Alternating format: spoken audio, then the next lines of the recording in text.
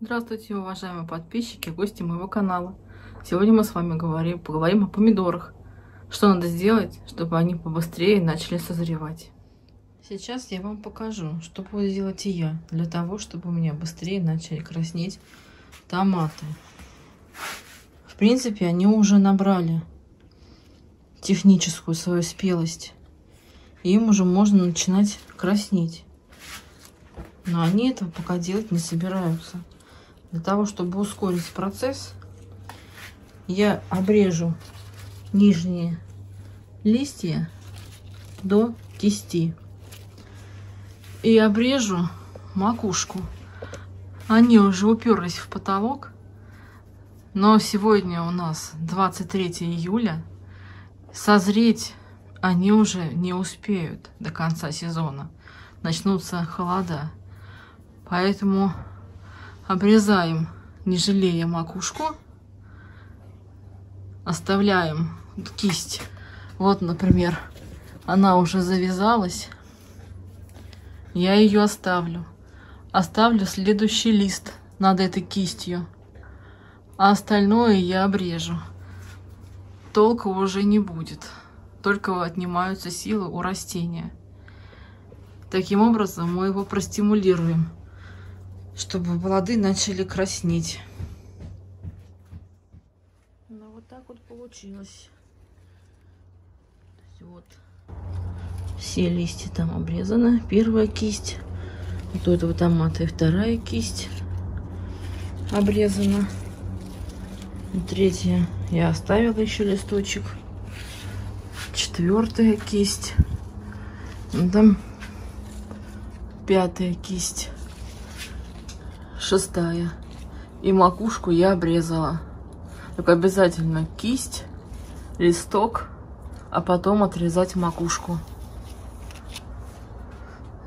Ну и то же самое и у всех остальных.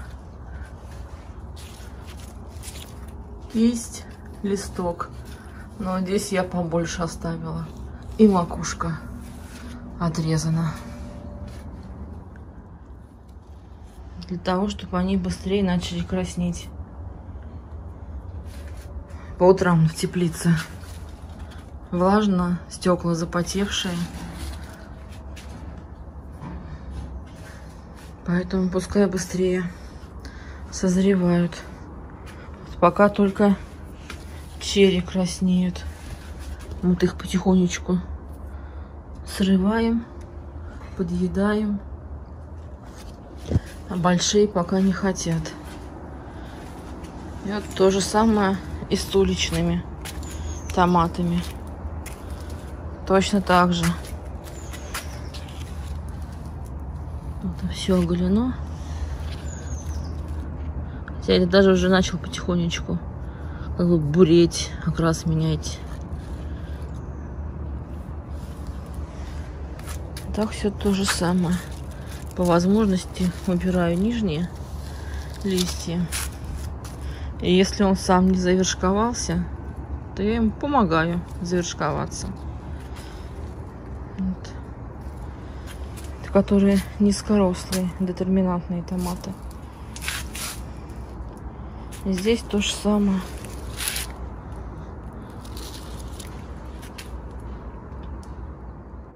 Кто не подписан, подписывайтесь, чтобы не потеряться. До новых встреч. Пока-пока. На даче надо не только работать, но и отдыхать. С вкусным шашлычком. Угу. М -м, красота. М -м, какой аромат. тоже может быть сразу это делать?